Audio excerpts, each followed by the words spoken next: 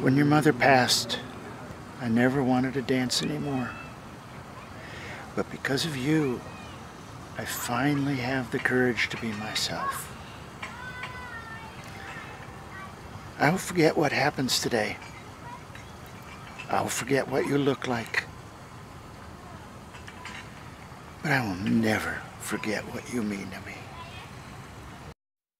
Do anything anymore. What? I said I can't do anything anymore, okay?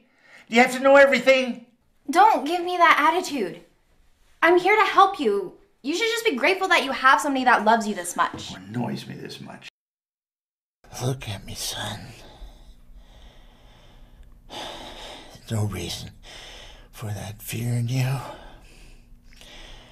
I raised a good boy.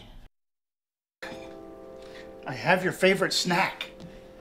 And I even cut off the edges because I know you like to eat those first. Eden, I've got a surprise for you. Not now, Grandpa. Then I'm just going to have to find someone else to watch Peter V's ghost hunting spectacular with me. Ask Bobby. He should know. We did when Justine disappeared. He moved to Haynesville last month, and he hasn't heard anything from her either. All I knew is that she left me. Want a shot? Too early in the morning for me, but thanks. Listen, Dutch.